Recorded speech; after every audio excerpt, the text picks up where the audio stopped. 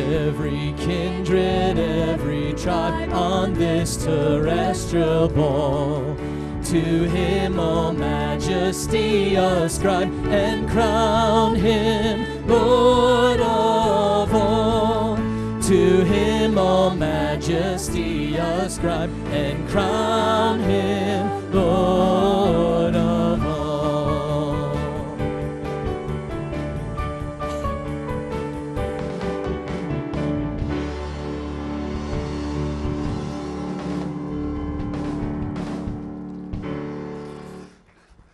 Good morning. Welcome to Oakwood Community Church. Go ahead and have a seat if you would. I was making sure I had my mic turned on. I was getting all tangled up in my cables there. So we are glad you're here. It is nice that summer is upon us, uh, and it is uh, warm and sunny. A lot of people have been enjoying some outside. I know we have some people traveling this week. That includes Pastor Don. Uh, if you were paying attention to the noisy, windy, Harley, uh, noisy, uh, video that he did this week, he was letting us know he was heading out of town on vacation. So he'll be gone. He'll be back next week uh, preaching. And Pastor Ben and Kylie are still enjoying their honeymoon. Uh, so we've been leaving them alone and uh, hope to see them in sometime in the middle of next week. So uh, if you're traveling all this summer, I hope you guys have some great time to get away and enjoy some time as family or with friends as well. But we're glad you're here this morning uh, at Oakwood Community Church to worship with us. We will be wrapping up the sign series. and then next week, PD will be starting a special series that he'll be doing for six seven weeks this summer. So make sure you're here for the kickoff of that. Uh, if you're a guest with us, we'd love to just connect with you and say thanks for coming to worship with us. Uh, we have a little gift uh, for guests that come. If, you, uh, if you'd like that, uh, we'd love to connect with you. Stop by the cafe counter afterwards, and you should have gotten a bulletin or a program when you came in. There's a little connection card there. You can fill that out, put as much information as you're comfortable with. and if there's information you'd like from us, there's ways you can check off on there or prayer requests you can put on that. we'll pray as a staff when we meet together this week. we'll follow up with you, get you information you need. But we'd love to just spend a little time talking with you too. So stop by the cafe. We'll get you that gift and see what we can do to encourage you. Uh, today, uh, I've got a couple things I'm going to give you updates for right before the message, but I'm just going to pray right now. Uh, let's prepare our hearts to worship the Lord uh, and get into His Word together today. Heavenly Father, thank you so much uh, for your great love for us. We thank you for uh, what we've been learning about Jesus and His power over all things as we go through your Word and look at His miracles and the signs that He does. And as we come before you today, I just pray it helps to slow down and quiet our hearts to see your glory and your goodness as we worship you and to be prepared uh, for what you'd have for us as we get into your word together today. We just thank you for the church family, the opportunity to get together today. In Jesus' name, amen.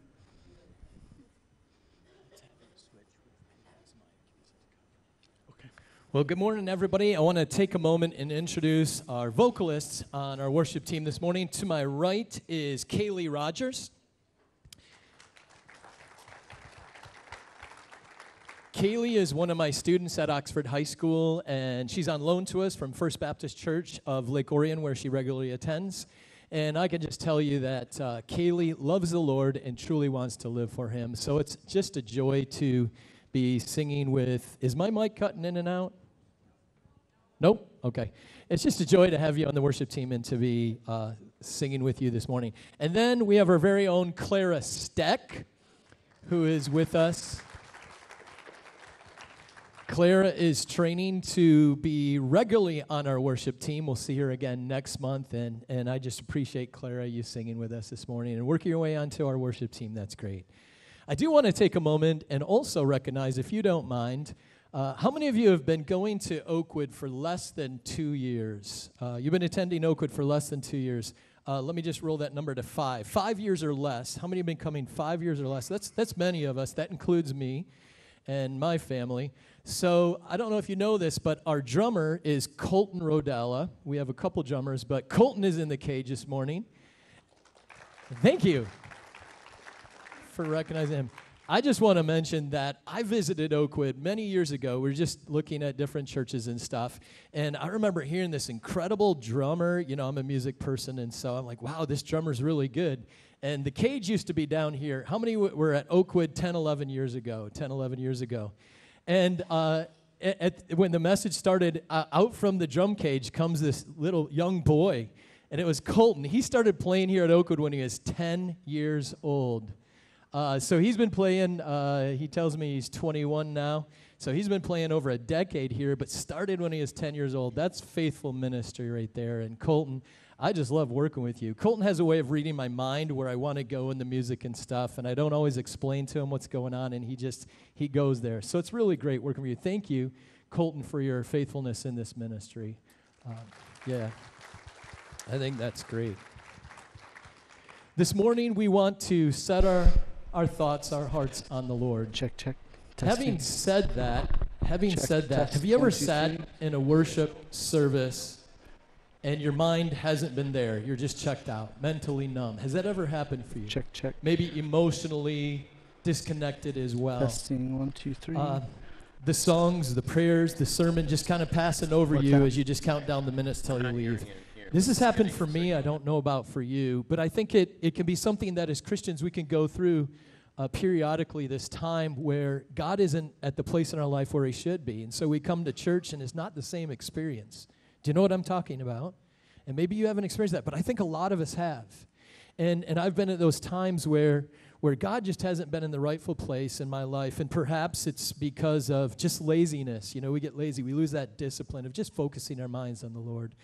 Maybe there's an unconfessed sin, and so then we come to church and there's a disconnect there because we don't really want to listen because we'd be convicted. And uh, we'd have to let go of that thing we've been holding on to that separates us from fellowship with God.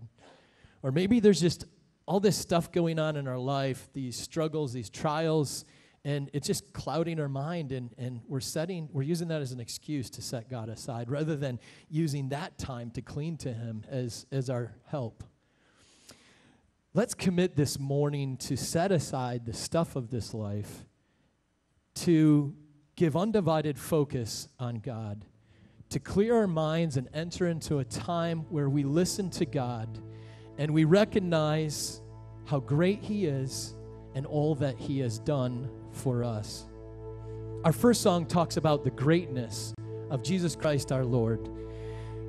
As we sing this song, consider all that He has done for you. He paid a great cost to satisfy our debt by dying on a cross for our sins. He certainly deserves our attention. Let's stand together and give praise to our Lord as we sing.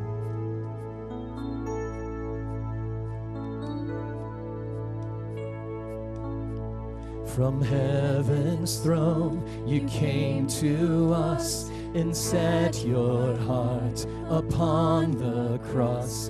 You'll never know the sacrifice you made. For all our sin and all our shame, you took the nails and took our place. No one else could do what you have done. One name is higher, one name is stronger than any grave, than any throne. Christ exalted over all. From the grave where death would die, you rose again and brought us. You're reigning now, the Savior of the world. You're reigning now, the Savior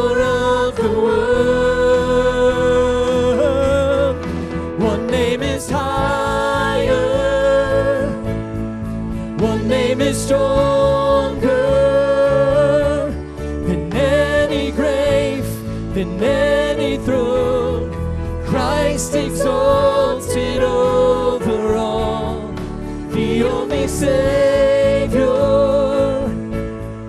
Jesus Messiah, to you alone a praise belongs. Christ exalted over all.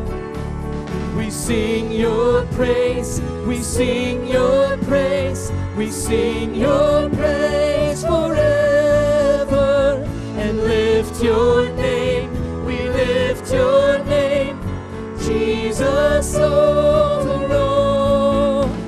We sing your praise, we sing your praise, we sing your praise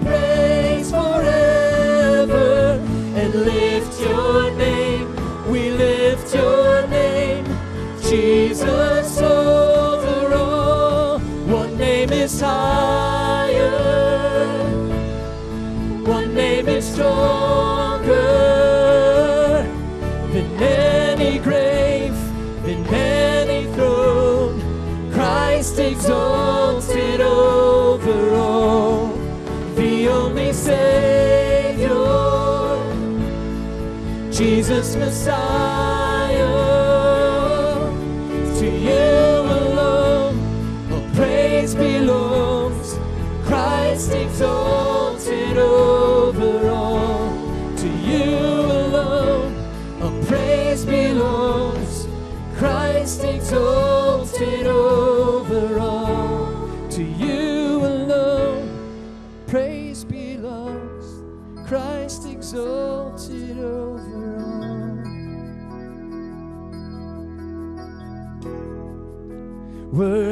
Of every song we could ever sing. Worthy of all the praise we could ever bring. Worthy of every breath we could ever breathe. We live for you.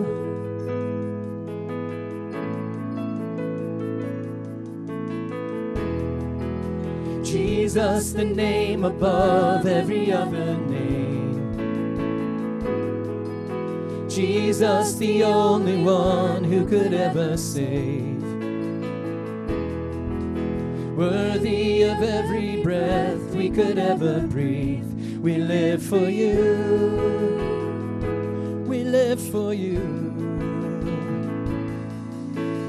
Holy, there is no one like you. There is none beside you.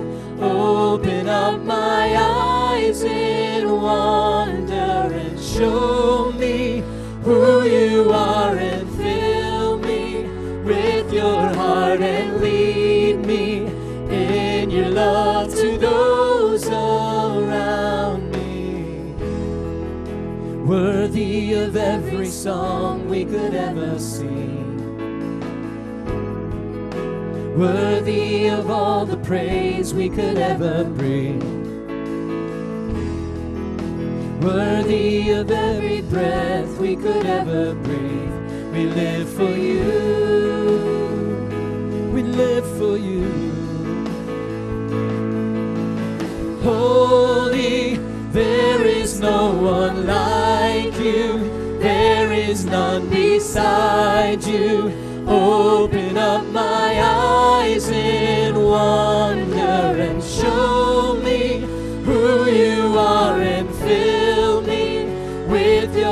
heart and lead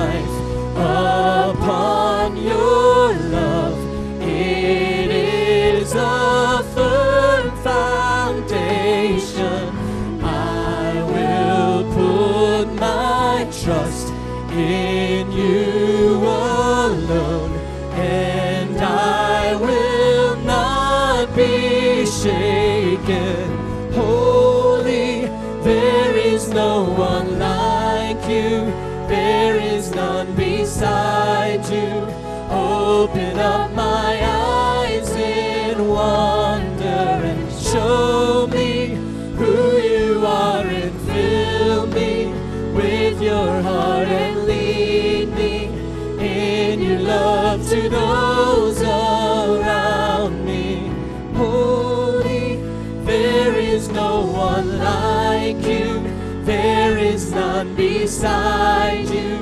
Open up my eyes in wonder and show me who you are and fill me with your heart and lead me in your love to those around me. Jesus, the name above every other Jesus, the only one who could ever save. Worthy of every breath we could ever breathe. We live for you. We live for you. Will you pray with me? God, as your children, we want to live for you. We have been saved by the blood of Jesus Christ, and through faith in him, we are made new. Lord, I pray that the people at Oakwood, all of us, would be filled with the knowledge of your will and all spiritual wisdom and understanding, so that we will walk in a manner worthy of you and your gospel, pleasing you in every way. God, strengthen us with all power according to your glorious might. Lord, we love you and we want to live for you. And Lord, as we take up our offering, please use it to further the gospel here in our area and, and abroad through our missionaries. God, we give our lives and this gift to you. In Jesus' name we pray. Amen. You may be seated.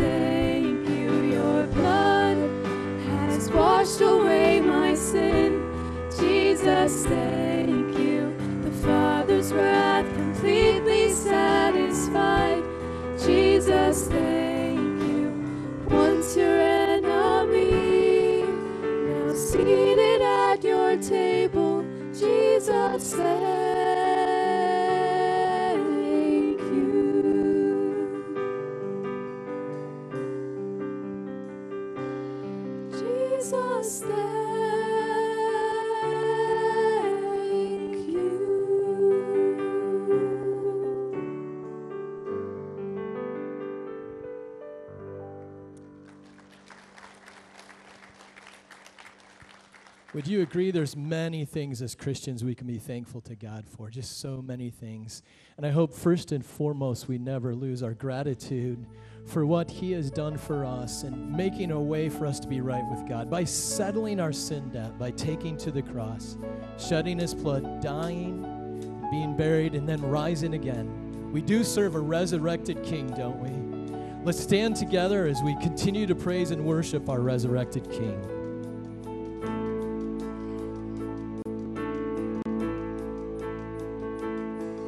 There's a reason why the curse of sin is broken. There's a reason why the darkness runs from light. There's a reason why we stand here now forgiven. Jesus is alive.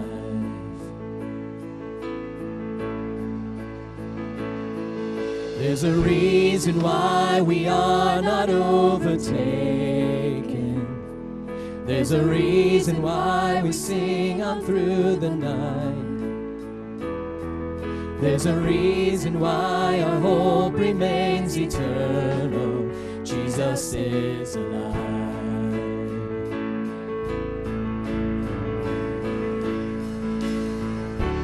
Praise the King. He is risen. Praise the King, He's alive. Praise the King, death's defeated.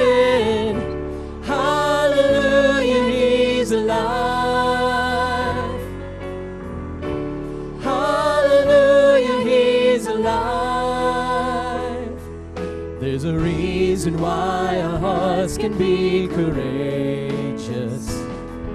There's a reason why the dead are made alive. There's a reason why we share his resurrection. Jesus is alive. Oh, he's alive. Praise the King. He the King. He's alive. Praise the King. Death's defeated. Hallelujah. He's alive. Hallelujah. He's alive. The grave could not ignore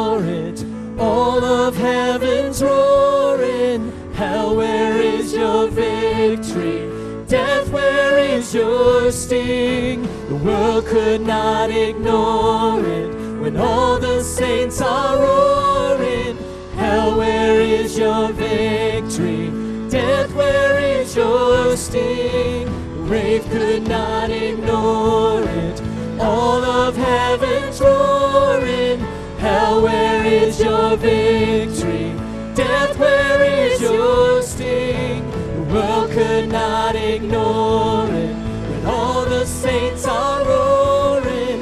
Hell, where is your victory? Death, where is your sting? Praise the King. He is risen. Praise the King. He's alive. Praise the King.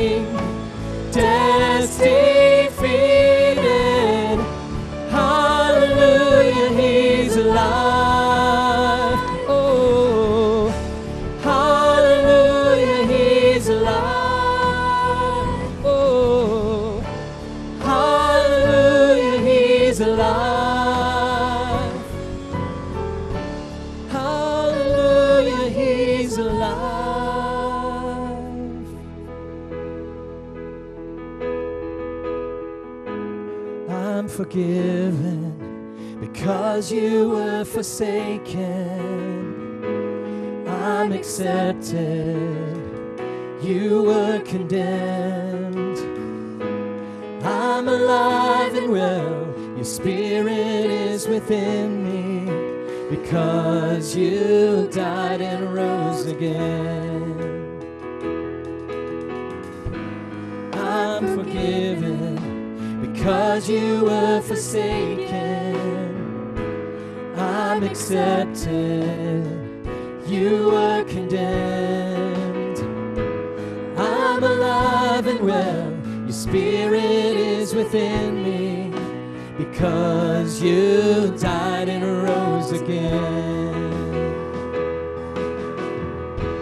Amazing love, how can it be that you, my King, would die for me?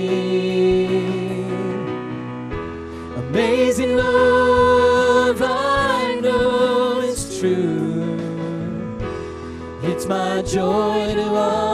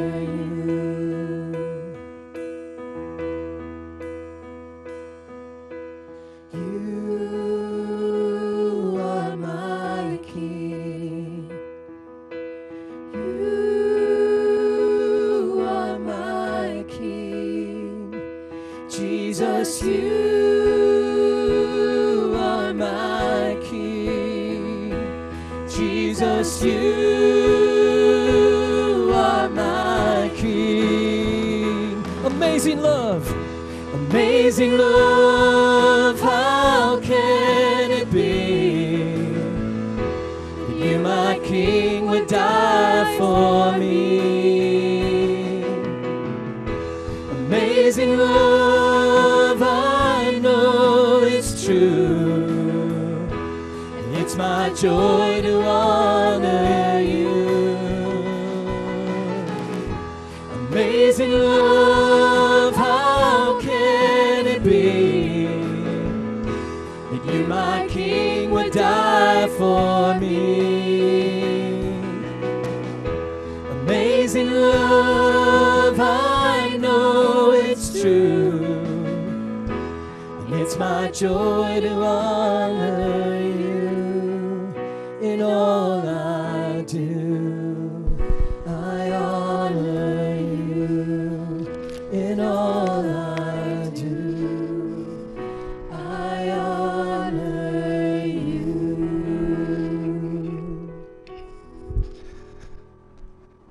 Thank you, worship team. Go ahead and have a seat. I appreciate Christopher, Colton, Kaylee, and Clara today. The, the I don't know if they're all C's. There may be a K there for Kaylee. But uh, just in case you guys didn't know, Clara is actually my daughter. Uh, so I've been able to sing with her before, but she, uh, uh, just an opportunity for me to brag on her a little bit. Uh, she's not about doing that, but um, she's a good singer.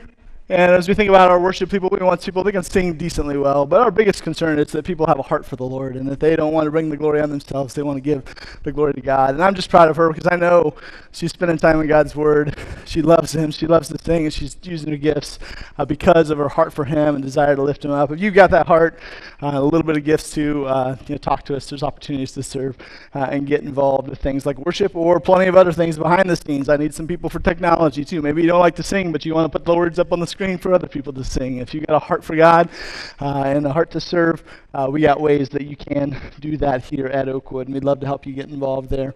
Uh, before we jump into uh, the message uh, this morning, I wanted to just highlight a couple of things. Uh, we're coming to the end of June, which is kind of the end of our fiscal and leadership year as well. So I wanted to take a moment for those that are here uh, and just honor uh, the elders, deacons, treasurer that have been serving and are going to be stepping down and taking a break from that role, as well as those that are starting at, at, this point. So if you're here this morning and have been one of those people saying, when I call your name, if you've been serving, go ahead and stand for me and stay standing until everyone's uh, done. Our elder that's going to be going off is Bruce Knopf, uh, and he's here. If you'd stand up for us. We got four deacons uh, that have been serving faithfully that are going to be stepping down at this point. Marty McDaniel, uh, Dan Koskinen, Matt Young, and Tim Dangle, I believe. I should have a few of those around, but some of them might be wandering around doing other things.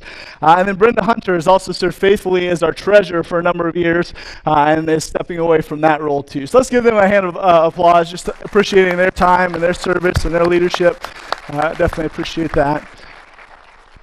And then we have others that are stepping in uh, to, to take their place and to move things forward as well. We definitely appreciate them. So, uh, with the elders, we've got Bruce Paris.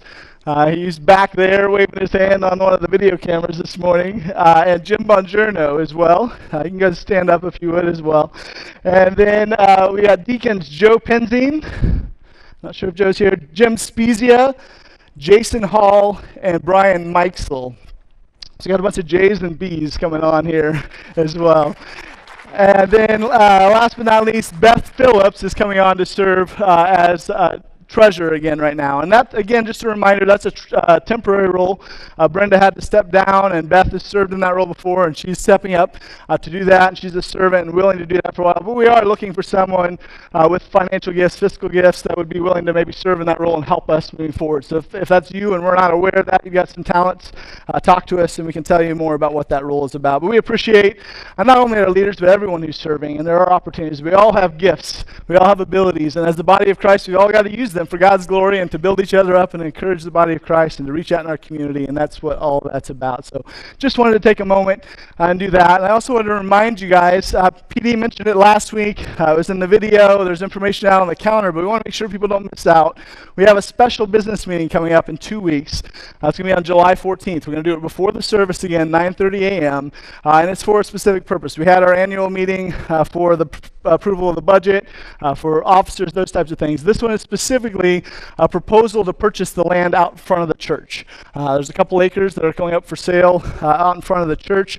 Uh, there's a sheet out in the lobby that's got the basics on there the, the what, the why, and the how, just the basics. But we want you to come uh, to that meeting on the 14th where the church has the opportunity because we're uh, looking at purchasing some other property. The church needs to be involved in that decision. Uh, so we want people here for that. if you have questions, some of the elders will be available in the conference room after the service today as well as next week. And we encourage you to come uh, talk to us if you want more information about that. Uh, if you're concerned about it or if you have questions about it, come talk to us over the next couple weeks before that meeting. Uh, we want that meeting time to be a simple time, but we also want to hear from you. And if you have concerns, we want to be able to address those uh, all together as well. So those are just some uh, business things I wanted to make sure people were aware of. And then we're going to get into uh, our message this morning. So, we are wrapping up the Signs series, uh, which is all about the miracles of Jesus. And uh, PD joked a couple weeks ago, I think he, uh, last week, he had the pigs flying up here because uh, of the demon possessed man. The pigs, uh, the, the, demons went into the pigs and drowned all the pigs. and the week before that, he had someone dropping through the ceiling, right? And he joked that today all I had to do was raise somebody from the dead.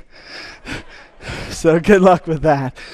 But as we start talking about what we're going to talk about today, I want us to just focus for a moment on a topic that's a little difficult for us in our world.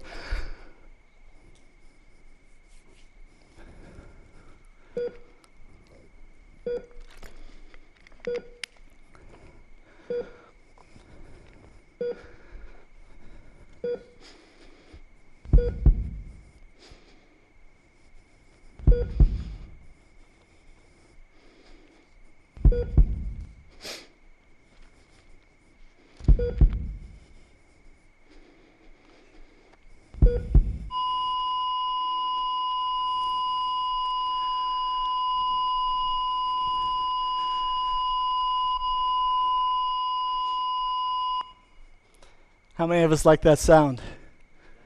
No. That's eerie, isn't it?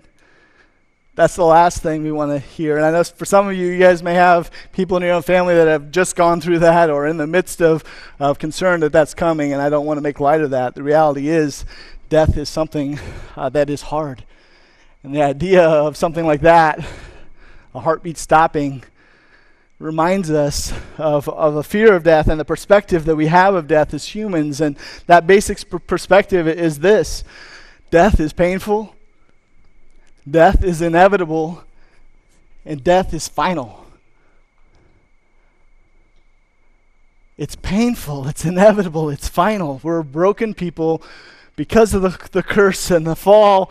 We know that physical death is coming. And once that happens, that's the end.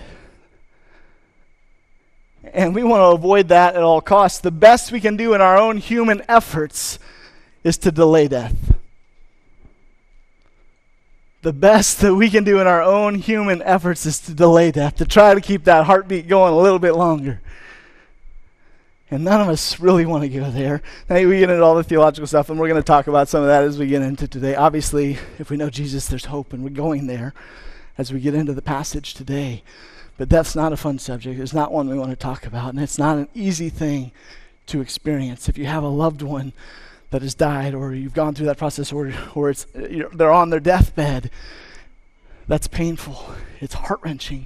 It's hard, and it's the last thing that we want to be dealing with in our life. As we get into this topic today, we're going to look at the power of Jesus as we think about his miracles and what it reveals about who he is and what that means for us.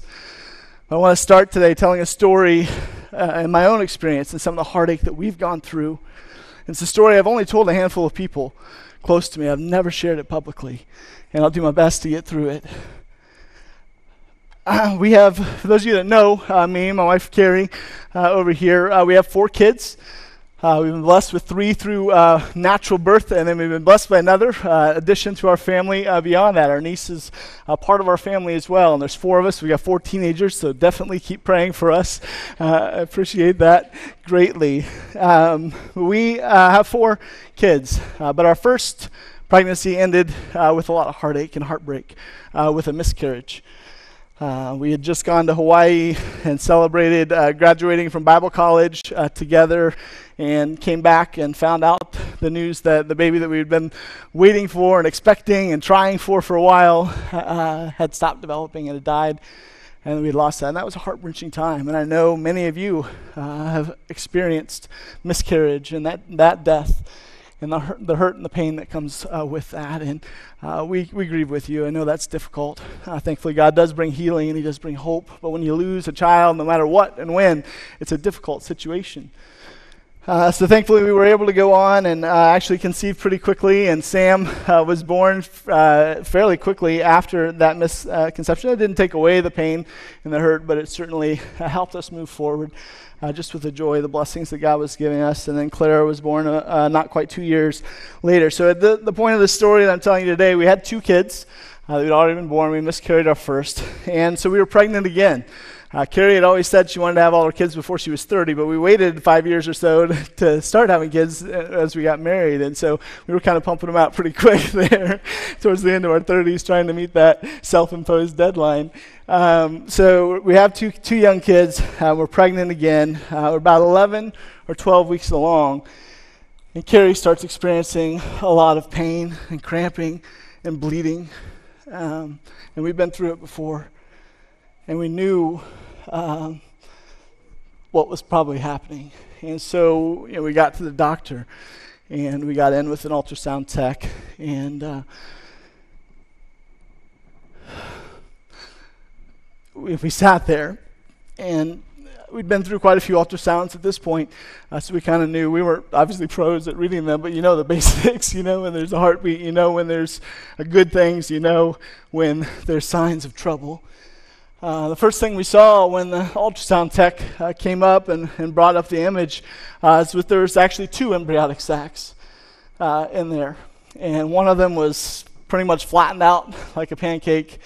Uh, the fetus wasn't developing. And pretty much early on, within the first couple minutes, the, the text, you know, they're not supposed to say anything, but this one was pretty chatty at the beginning of our, of our meeting that day. Uh, she said, It looks like you're miscarrying twins. And so, I mean, at that point, tears start rolling.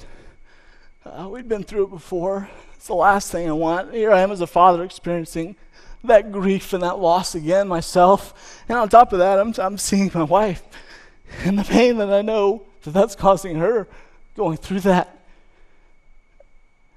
Oh, it was heart wrenching. And so, and she's going on for minutes, you know, looking around, doing stuff. And she says, you know, I'm going to take some measurements, try to find out how old uh, the babies were, uh, those types of things. And, and, it's going on, and I can see the terror and the heartbreak on my wife's face. And she's looking at me, and, and I'm looking at her. And, uh, It's just this eerie silence. Minutes had gone by, and we're watching it, seeing nothing no flicker, no movement. And all I could do was pray. All I could do was pray. I felt so hopeless, so powerless, and I was. Because I had no power in that moment. I was helpless. I could try to comfort my wife, but good luck with that. When, when your wife's losing a child, all I could do was pray. And I cried out in my despair. And I said, Lord, you know the pain that we've gone through, and I know how hard this is going to be for us to go through this again. The one baby wasn't there, but I cried out in faith and I said, Lord, I can't do anything about this, but you can. You can make that heart start beating and it, it sounded like pleading. I was probably doing some bargaining in my head. We've all been in those situations, right, where you're, you're trying to bargain with God, and, and I don't remember everything about what was said and how it was done. But I remember what happened next. All of a sudden, minutes had been going by. All of a sudden, beep, beep, beep, beep, there was a heartbeat.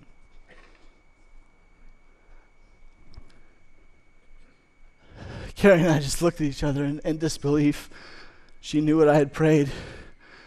We were still in the midst of just crying, heartache, heartbreak. The tech, who had been pretty chatty and bubbly up until uh, that point, she was speechless. She couldn't explain it. And Carrie and I know what happened. It Had nothing to do with me. Powerless had everything to do with God. And I don't know why he chose to do what he did in that moment. And I have no problem. I have no doubts. I know other people, even though shared it well, you know, they just missed the heartbeat. That's, and that's fine. That can be your perspective. That, that's fine. But we know how long it was. We know what we saw. We know what we prayed. We know what God did. And we know our God is a God of miracles and that we're powerless. But he is ultimately powerful. We're afraid of death. We don't want to experience death uh, it's one of those things we want to avoid. Here's a picture of Bree at 19 months, about five or six weeks later. So we lost the twin, but her heart started beating. And we had to go through a bunch more ultrasounds. There were other complications and challenges, uh, but God brought her into this world in a miraculous way. Uh, and, and all of our kids are blessings to us. Um, but we believe wholeheartedly that there was a physical miracle that took place uh, with Bree. And I don't say that lightly, and I don't say that to, to bring any glory to myself. As we get into this passage today, we're going to see very clearly there's nothing we can do but our Father and our Lord have power over death. And that's the big idea today. Death is not a final deadline for Jesus. Death is not a final deadline for Jesus. It's the end in our minds, and we want to avoid it at all costs, but it's not a final deadline. There's hope. He has power even over death. And if that's true, that should change our lives and our perspective about all things. Let's pray, and then we'll get into John 11. I encourage you to turn there. We're going to be walking through this passage together in, in little chunks. Uh, it's quite a few verses today, but we'll, we'll kind of weave through that together. But let's pray. Heavenly Father, we thank you for your word. We thank you for uh, the way that you revealed yourself to us uh, in truth, uh, through scriptures, through other people, through the testimony of others, uh, through personally the way that you've worked in our lives, and your love, and your forgiveness, and your grace, and your power. And we just want to come before you with open hearts today to hear what you would have to hear, to see you as you are, and that you would encourage us, strengthen our faith, and give us the courage to live boldly for you in this world. We pray in Jesus' name. Amen. So turn, if you would, to John 11. Um, we're going to kind of go through this passage in, in, a handful of different chunks and just kind of look at it uh, bit by bit.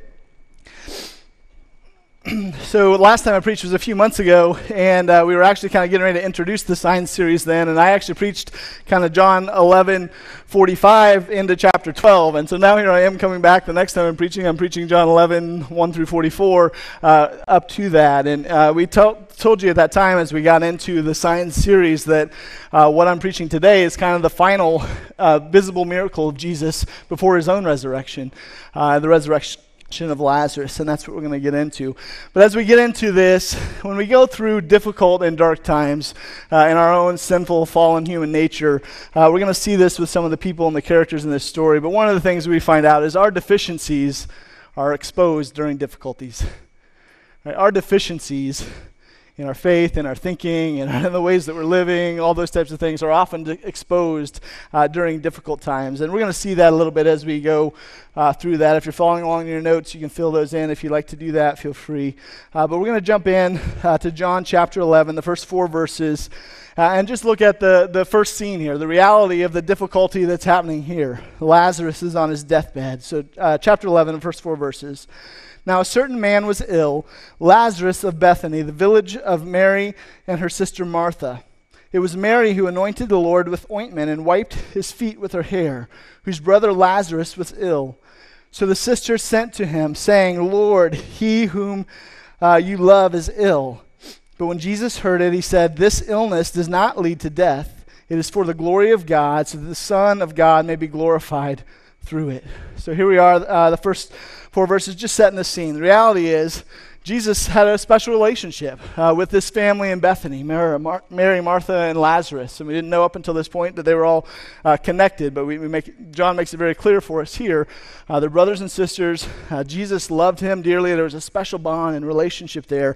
And so, here we are, uh, just as much as we hate death and we hate uh, sickness and the reality of, of, that happening, Jesus hears of a good friend uh, that's pretty much on his deathbed. It's an urgent situation. They're sending to him uh, at least a day, maybe two days' journey away uh, to, like, he's, he's dying. We need some help here. Come help us out. It was a plea for help. It was one of those crying out uh, in their desperation uh, asking for help. Uh, and so Jesus receives word of that. And his reply seems fairly hopeful, I would think, to the family. You know, what's he say there in verse 4? This illness does not lead to death. Uh, it's for the glory of the God, so the Son may be glorified through it. You hear that, and you think, oh, great, all right, something this is, this is going to go the way we wanted. We asked Jesus for some help. He's going to help us out. Lazarus isn't going to die. I'm sure they were taking some initial consolation uh, from his response. And so uh, all that sounds good uh, in the midst of that. Before we move on to the next uh, verse, I want to just show you a little bit. One of the things that uh, can get a little confusing here is looking at where Jesus is and where they're at. So this this family's from uh, Bethany, and we'll call it Bethany number one, uh, which is about two miles east of Jerusalem. So you got Jer- uh, Jerusalem here, and this is the Bethany where Mary, Martha, uh, and Lazarus lived, uh, just outside of the city. And Jesus spent some time with them at different points. Uh, it's pretty clear in the Gospels. Uh, but if you look back into the uh, verse of the chapter right before this, in John chapter 10, uh, Jesus had got, been going through doing other miracles, and the Jews picked up stones to stone him. And it says basically they fled the region, uh, and they went to the area where, on the other side of the Jordan, across the Jordan, uh, where John was originally baptizing. You look back at the beginning of John, and I think it's John 1, verse 38, that's also referred to as Bethany in some translations. And so there's another place. Uh, this map was the best one I could find that kind of depicted them. And, and the, the, area is questionable, but it's on the other side of the Jordan River here. Uh, Bethany beyond the Jordan is what this map labels it as. Uh, but it's probably at least 40 kilometers away or so. Uh, for sure, a day, uh, maybe two days' journey away uh, from where Lazarus is at in terms of his house and his, his um, setting at that point. So just just helped me as I was studying this passage to understand where Jesus is at in relation to them, and uh, that there's actually two potential Bethanies. Uh, one only one's named in this story, uh, but it's important for us to just understand some of those. So that's the reality. Lazarus uh, is uh, you know, 40 kilometers west on his deathbed. Jesus had fled because he was being threatened. His own life was being threatened. Uh, and he's on the other side of the Jordan with his disciples. Mary and Martha send word that he's sick and need help. And uh, Jesus receives word and sounds like he's got a good plan in mind to keep him from dying, right? Well, and then we get to Jesus' uh, overall reaction, the next couple verses, and ultimately find out that Jesus delays, and that's kind of weird for us to consider. Let's look at verses 5 and 6. So he said, this, this illness does not lead to death. But then, verse 5 Now Jesus loved Martha and her sister uh, and Lazarus. So when he heard that Lazarus was ill, he ran as quickly as he could to Bethany to save him. Wait a second. You guys, anybody reading along with me? Isn't that what your version says? You guys aren't reading. Some of you are. So when he heard, is that Jesus loved him, right? So he loves him. He hears that he's sick. He's telling it's not going to lead to death. What's our expectation that he's going to do? He's going to take a beeline to it, or he's going to like snap his fingers, you know, and say, he's good. Forget about it. You know, no problem, right? But no, it says, so when he heard that Lazarus was ill, he stayed two days longer in the place where he was. What? Come on, Jesus, really? One of your best friends is sick. You love the guy, and you're staying there two more days once you find out he's on his deathbed? That doesn't add up, right? In our mind, that doesn't make sense. That's not the reaction and the response that we're expecting uh, from Jesus who loves this guy. Uh, but that's what he does. And so he delays two days, and you know we have to ask ourselves why.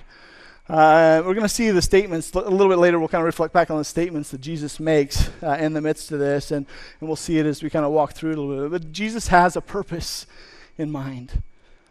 He loves them, but that doesn't mean that he's going to keep them from experiencing all the pain and the hardship of life, right? He's got a bigger plan and a bigger purpose in mind that we'll see unfold uh, throughout this. So, in his love, he's delaying for a reason, and we'll get there. All right, so now we see some of the other characters kind of enter the story. Uh, next, we're going to see the disciples and their doubt in the next uh, 10 verses or so here. So, picking up in verse 7. Uh, so he said, Then after he said this, uh, after this, he said to the disciples, Let's go to Judea again. The disciples said to him, Rabbi, the Jews were just now seeking to stone you, and are you going to go there again? Jesus answered, Are there not 12 hours in a day? If anyone walks in the day, he does not stumble, because he sees the light of this world. But if anyone walks in the night, he stumbles, because the light is not in him. And after saying these things, he said to them, Our friend Lazarus has fallen asleep, but I go to awaken him. The disciples said to him, Lord, if he has fallen asleep, then he will recover. Now Jesus had spoken of his death, but they thought he meant taking rest in sleep. Then Jesus told them plainly, Lazarus has died. And for your sake, I'm glad I was not there, so that you may believe. But let us go to him. So Thomas, called the twin, said to his fellow disciples, Let us also go, that we may die with him. Not a very hopeful response there from, from Thomas, right? So here we are, the disciples. So Jesus delays. And now he's saying we're going to go back to Judea. And he had just fled there because the Jews had picked up stones to kill him. Uh, he'd been revealing his identity and he'd been threatening them. If you look back at that message I did a few, week, a few months ago called The Rejected King, and it was that whole idea uh, of the tension that was building between Jesus as he revealed himself as the Son of God and the Jewish leaders who he was essentially threatening their identity and their purpose and their position. Uh, and, and, that, that tension was rising. And this situation they're in today, as you're going to see at the end, becomes uh, the final straw for them. But that tension is there. They had just been threatening to kill his life, and they'd fled. And I'm sure the disciples were very glad for that. And now Jesus is saying, We're going to go back. And they're like, No, that doesn't make sense. Does not compute. Let's think of another plan, Jesus. Oh, he's, he's just sleeping. He's fine. He's going to recover. He'll be okay. And then even when Jesus insists, Thomas's response is, "All right, we'll go and die with you." Right? There's there's not a lot of hope. There's not a lot of faith that Jesus is in charge of the situation and he's got things under control. In the midst of that, uh, Jesus makes that statement about there not being 12 hours in the day uh, and walking in the day versus the night. And uh, I think that that really comes down to, we're not going to get into that, it's not the crucial part of the story. Uh, but if I had to, to summarize it or find a comparison, it's kind of like when Jesus says at other times, you know, if anyone wants to save his life, uh, he'll lose it. But if anyone loses his life for my sake, he will find it. And that idea that we need to obey what God has for us. God's plan, His purpose, we need to pursue that at all costs.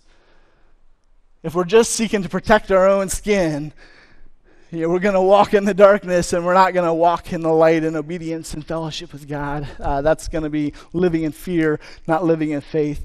Uh, and that's not what Jesus has for us as his followers.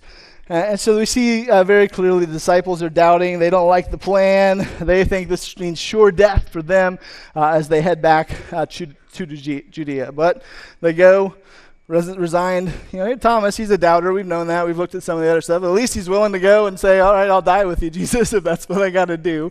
So that's a good thing, I guess, uh, in the midst of that. But we see the disciples, we see their doubt. Uh, and next, we're going to look at the sisters and their response, and we see discouragement from them. So pick it up in 17. I got a couple of longer sections here uh, to walk through. And it says, Now, when Jesus came, so he arrives at Bethany, uh, it says, Jesus came, he found that Lazarus had already been in the tomb for four days. Pause right there. So, how has he been in the tomb for four days? You do the math, and, and it's, you, we don't know exactly the, the timeline, but there's some different conceivable ways that that could be happen. Like I said, the place where he was at was at very least a day's journey away maybe two days' journey, uh, depending on exactly where they were at. And so uh, the, the messengers come, they tell them, Jesus said, ah, this illness doesn't lead to death. But at some point, Jesus knows he's, di- he's died. Um, and he stayed there a couple more days. Uh, so if he died and then they stayed there a couple more days and then they took another day or two journey, it's very easy to get to four uh, days in terms of why it had been that long uh, when Jesus got there. So we don't know the exact timeline, but it's very feasible. Uh, four days is not uh, hard to come by as you look at the, the, the details of the text and how far away they were. So yeah, the couple days they stay in there and the journey time, and we get there pretty easy. So Lazarus had been in the tomb for four days. Verse 18. Bethany was near Jerusalem, about two miles off, and many of the Jews had come to Martha and Mary to console them concerning their brother. So when Martha heard that Jesus was coming, she went out and met him, but Mary remained seated in the house.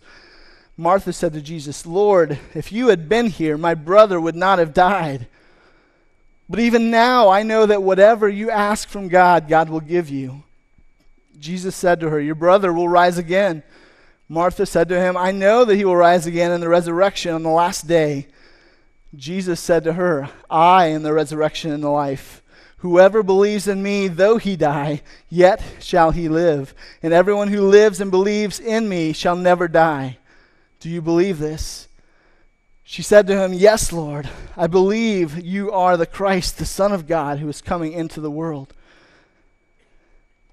Going on, when she, when she had said this, she went and called her sister Mary, saying in private, The teacher is here, and he's calling you.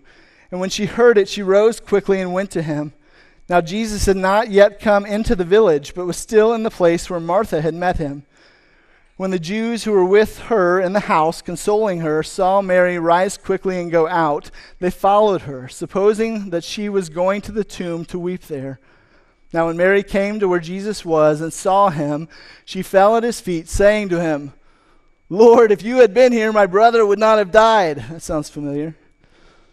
When Jesus saw her weeping, and the Jews who had come with her also weeping, he was deeply moved in his spirit and greatly troubled. And he said, Where have you laid him? They said to him, Lord, come and see. Jesus wept. So the Jews said, See how he loved him? But some of them said, Could not he who opened the eyes of the blind man also have kept this man from dying? And so that's a longer section, but we see the, the response of the sisters and the, the Jews who were kind of surrounding them as was part of their custom and grieving with those who were in loss and uh, bereavement. And so, three times, basically the same thing said by three different people or groups, right? Lord, if you had just been here, you could have kept Lazarus from dying. And you can do the little compare and contrast with Mary and Martha. Both of them are obviously hurting, grieving, as they should be. Death is painful for the survivors. That's painful. It, it, brings grief. That's normal. That's natural. They are feeling disillusioned, discouraged, hurt. And, and, so you see that, you know, we see the difference, and you could make it, you know, start making some comparisons. You look at the other scenario of Mary and Martha. We're not looking back at that, but Mary was the one sitting at Jesus' feet. Martha was the busy body, body going around. So in this situation, you know, she hears that Jesus is on his way. Martha runs out the door to go meet him, right? And where's Mary at? She's still sitting down in the house, you know, and, you know, that's not a, a key part of it. That might just be part of their personality, who knows. Uh, but we do see a little bit of a more, compar- uh, more important comparison in the contrast in how they respond. They both say the same thing initially Lord, if you would have been here, you could have kept my, my brother from dying. That's the almost word for word, the exact same response both of them had.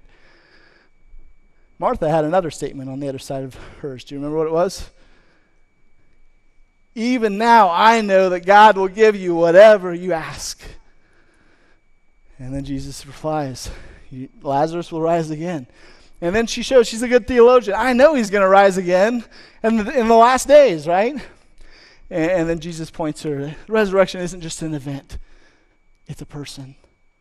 The resurrection is not just an event that's coming in the end, it's a person. Jesus says, I am the resurrection and the life. Whoever believes in me, though he dies, yet will he live. It's not just about the last day. So Martha's pretty smart. She's got some good things. She's got some good thinking. It's normal for her to be discouraged and to be hurting and grieving, but she's still got some hope mixed in there. But she still doesn't fully get who Jesus is or what's going on in the midst of it. Mary is even more probably discouraged, despairing. We don't see hints of hope in there. Uh, she stays in the house until she's called, basically, to come and meet with Jesus. And then she gets there, and you can just feel her despair and her heartbrokenness. Lord, if you'd just been here, you could have kept my, my brother from dying. And you do see Jesus' compassion, his love in the midst of his response. That, that Bible verse that everybody loves to memorize because it's only two verses, right? Jesus wept He's a compassionate caring. He loved this family deeply. It's a poignant uh, moment for us to be able to get in the midst of Jesus with this family that he's close to and see how he interacts with them uh, in the midst of this situation as he's, he's caring for them but trying to point them to something bigger, to himself ultimately. So the sisters are discouraged. Uh, and we'll talk a little bit more about Jesus' response in terms of where it says he was moved deeply here in just a moment. Uh, but the, la- the next couple verses, just verses 37 and 38, 38, I think it points to the reality of everyone's denseness. I had to go with D words, you know, PD's a good influence there. It points to everyone's denseness. So let's look at verses 37 38 real quick, uh, and then we will uh, make a few other comments. Uh, so some of them, again, the Jews that were there, said, Could not he who opened the eyes of the blind man also have kept this man from dying? Then Jesus, deeply moved again, came to the tomb. It was a cave, and the stone lay against it. So the reality is, everybody in the story is a little bit dense. The disciples are dense; they're not getting it all, right? The the sisters aren't quite getting it. Martha's got a little bit more of a clue than Mary does, um, and then the Jews are saying that but Jesus heard the same statement three times, and I think he's getting a little frustrated. We see that statement that says deeply moved, and, and, we just think, oh, this is Jesus and his compassion. He's heartbroken, right? He's hurting along with them. We're supposed to grieve with those who grieve, weep with those who weep, right? That's what Jesus is doing. And there is some of that going on. And it says that great, Jesus was greatly troubled uh, early on, but two times he uses the same phrase. And it's just not that Jesus was hurting and heartbroken, he was indignant, he was frustrated, he was angry at the response that he was getting from people. The verse, one commentator said it this way that same word, and it's, let me get it right. Embryomai. I kept wanting to say embryomai because I've been thinking about embryonic sacs in the story I told earlier. Embryomai is the Greek word. One commentator said it this way that uh, that word is also used in other literature talking about horses snorting in frustration, you know, that, that kind of that snort, that snort of indignation or frustration or anger. So there's, there's some righteous anger in there in Jesus. When he's being deeply moved, he's, it's not just that he's caring and compassionate about the situation going on. That is true. But he's frustrated. Because here these people are saying, well, if you'd have just shown up before he died, you could have done something, right? Well, what? Take that logic, if he's got the power to save the guy from dying in the first place, take that logic one step for, further. What else do you think he can do? And Jesus is frustrated with the denseness of people. He's trying to reveal his power and his glory and his identity to them, and they're just slow to get it. Thank goodness we're not slow to get it, right? Oh, wait. reality is we are.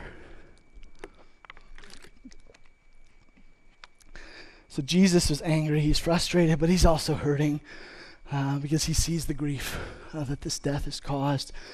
But he's got a bigger plan in mind. And so we, have looked at the reality and Jesus' reaction, and then kind of the reaction of the different people, and some of the struggles and the deficiencies that are being brought up in the midst of this difficult situation facing death. But Jesus had a purpose in mind from the beginning. The reason he let Lazarus die the reason he let it make sure it was four days, four days he was in the grave before he showed up on the scene, we're going to see here in a little bit. The reason is the resurrection. And not just this event, but to point to himself as the resurrection and the life. Let's read the rest of the story and we'll start driving this home. So, uh, verse 38 Then Jesus, deeply moved again, came to the tomb. It was a cave, and a sta- stone was laid against it. And Jesus said, Take away the stone. Martha, the sister of the dead man, said to him, Lord, by this time there will be an odor, for he has been dead for four days. Jesus said to her, Did I not tell you that if you believed, you would see the glory of God? So they took away the stone, and Jesus lifted up his eyes and said, Father, I thank you that you have heard me. I knew that you always hear me, but I said this on account of the people standing around, that they may believe that you sent me. When he said these things, he cried out with a loud voice, Lazarus, come out. The man who had died came out, his hands and feet bound with linen strips, and his face wrapped with a cloth. Jesus said to them, Unbind him and let him go. Jesus delayed for a reason. Four days, the guy stunk. There was no doubt. You could doubt whether or not Bree's heartbeat stopped and God brought it back to life. I don't care. I don't care. You could, you could doubt that. That's fine. I think I know what happened. I was there. I saw it. But you could doubt that. I don't care. Jesus left no shadow of a doubt. Lazarus was dead. He stunk. He was all wrapped up. It was done. As far as people's mind were, it was too late. The deadline had passed. It was finished. It was done. The end was there. Jesus made sure they understood that the big idea that we're looking at death is not a final deadline for Jesus. They still didn't get the reality of who he was and the power that he had.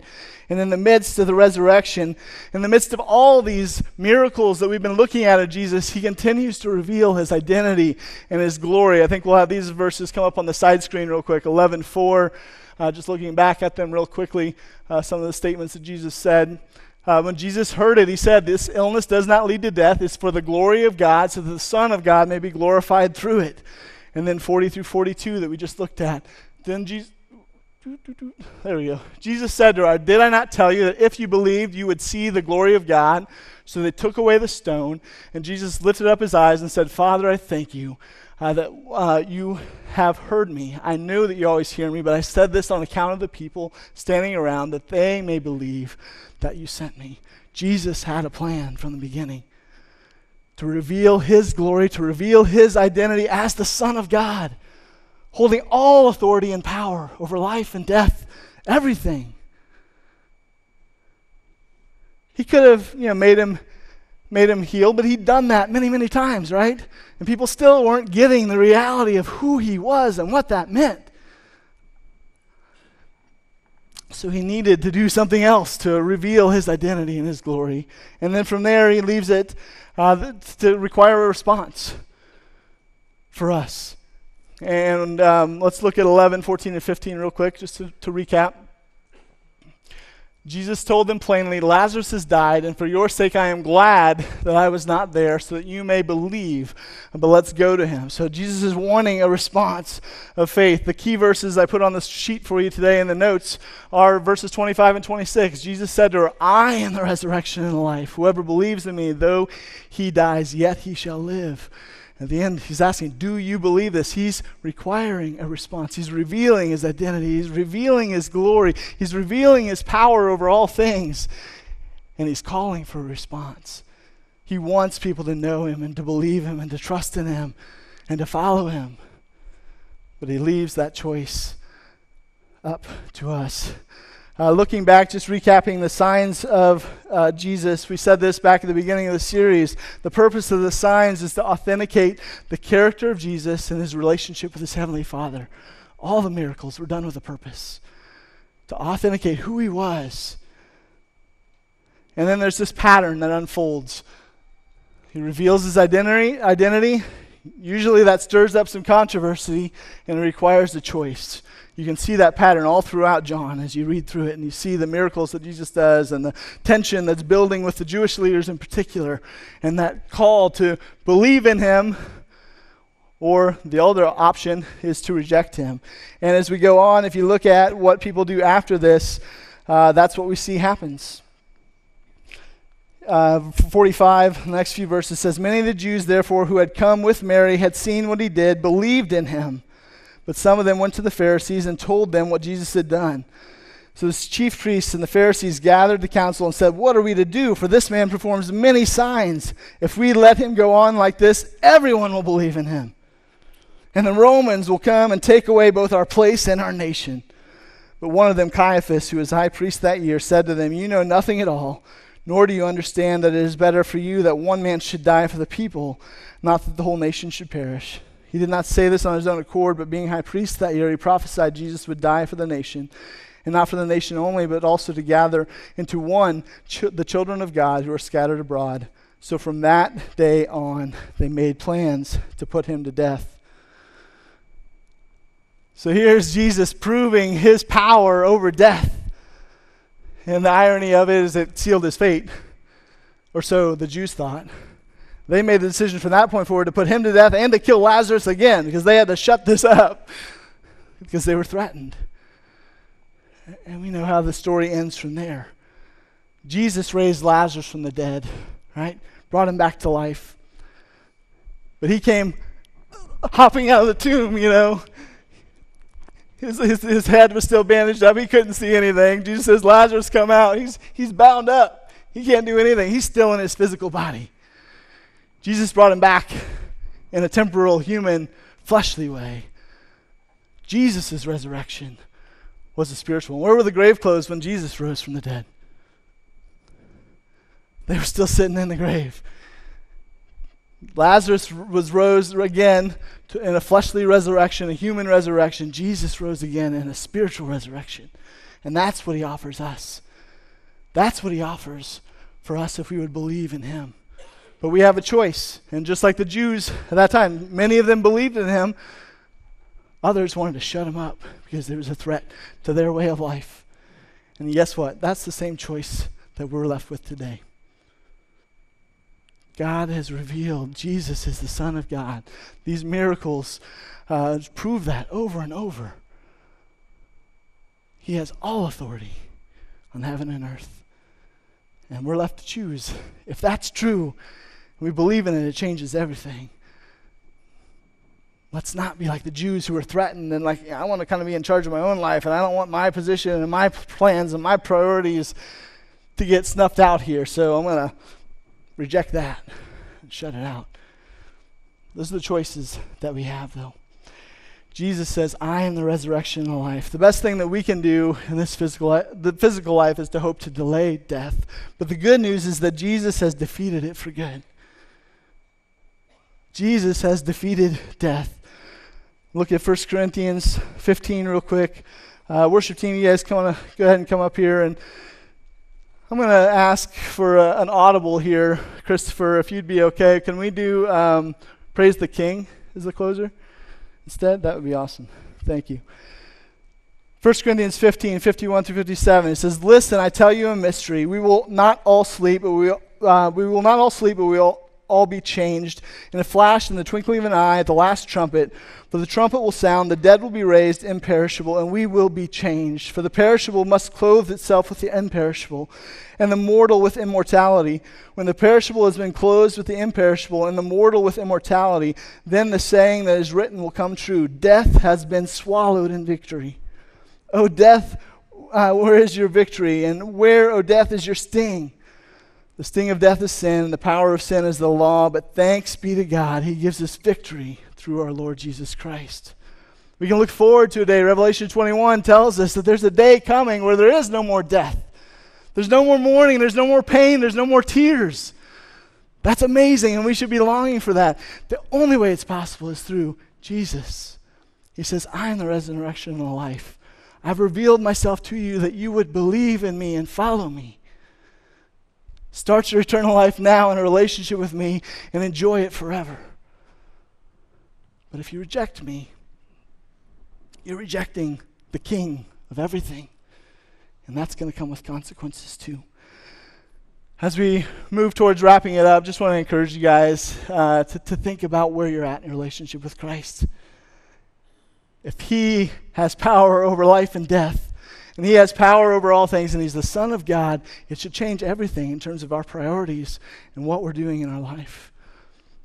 As we go through difficulties in this world, that's part of it. Jesus told us there was going to be troubles. And in the midst of that, we, we see some of our deficiencies, our doubt, our struggles, our discouragement, all those types of things that we've seen in some of the others. That's part of our sinfulness. And in the midst of those things, don't just get disheartened by seeing your own struggles and your own failures. God wants us to grow. Even as we went through this whole situation with his family and with his disciples, that was the point. He wanted their faith to grow not to stay where it was. They had seen bits of it, they believed bits of it, but he wanted their faith to continue to grow, that they would be willing to understand who he is and follow him no matter what. So as you look through, maybe this, the, maybe you're facing some dark times or some difficulties, or you're struggling with some doubt or some discouragement. Don't stay there.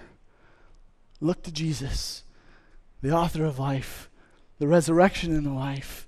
Fix your eyes on Him and allow Him to continue to grow and change you and, and increase your faith. Ultimately, we just need to realize this that death isn't the final deadline for Jesus. We have the hope of a new life if we believe in Him. And we've been given that great commission, the same mission that he's, He was on this earth to do, to help others understand that. He wants us to have an abundant life full of great relationships and, and fruitfulness. But ultimately, we're on mission with Him to save others and help them understand this reality too. If He is the Son of God, we should love Him, we should live for Him, and we should help others do the same. Let's pray. Heavenly Father, thank you so much for the hope of the gospel and the good news that we're not stuck in our sin and that death does not have to be the end for us, that we can have life eternal because you are the resurrection and the life. And you've made that promise that if we believe in you, we become children of God, and that even though we'll die in our physical bodies, we can live forever spiritually with you. And that's an amazing hope, Lord. Help us to fix our eyes and our hearts on you. Help us to make it our passion and purpose, just as it was yours, to reveal your glory, your goodness, your power, your identity, your love to the people you've placed in our lives, that more and more would come to know the saving grace of Jesus and live for you now and for eternity. That's our hope and our prayer. In Jesus' name, amen.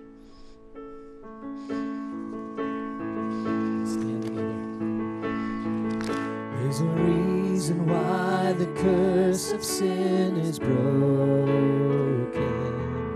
There's a reason why the darkness runs from light. There's a reason why we stand here now forgiven. Jesus is alive.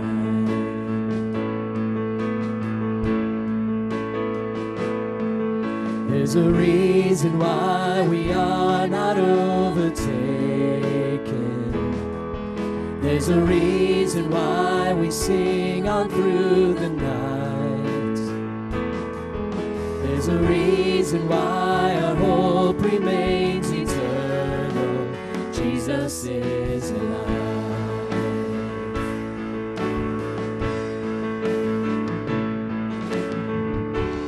Praise the King, He is risen. Praise the King, He's alive. Praise the King, death's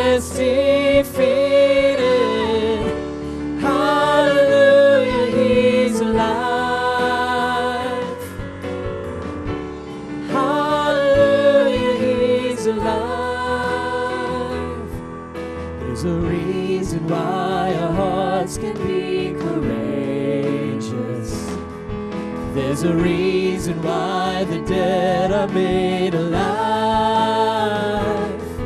There's a reason why we share his resurrection. Jesus is alive.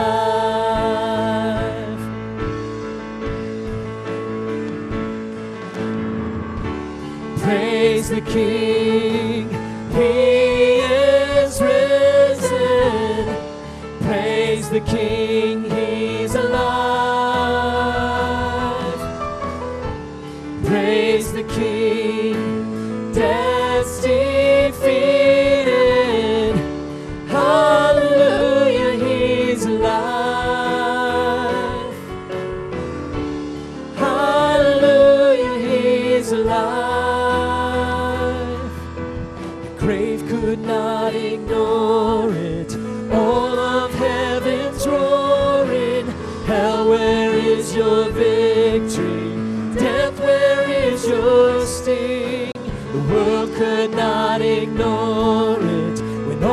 saints are roaring.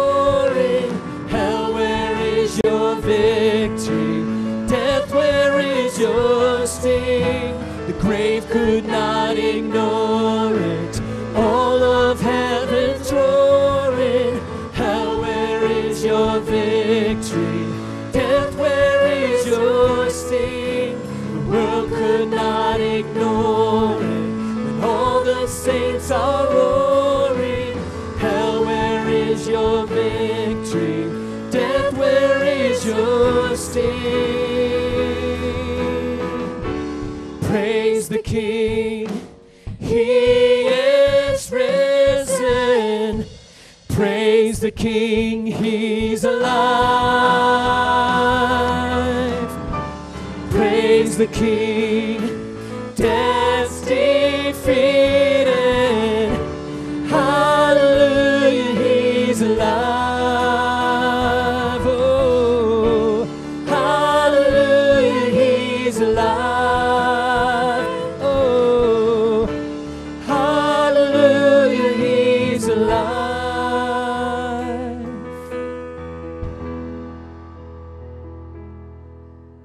Worship team, thanks for being flexible there at the end as well. It's an amazing truth uh, that I think sometimes we take for granted. And we just celebrate at Easter time and stuff like that. But the reality is, Jesus is the resurrection and life. He is our life.